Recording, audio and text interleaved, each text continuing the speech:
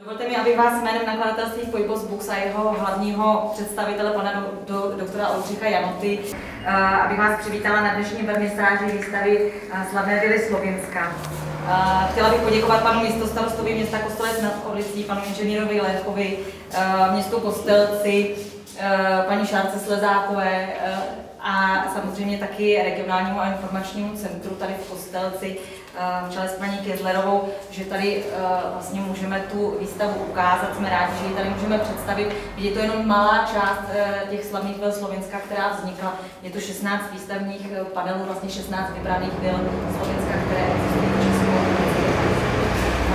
výstava celý večer, vlastně celý projekt Šuna, Orlice, který tady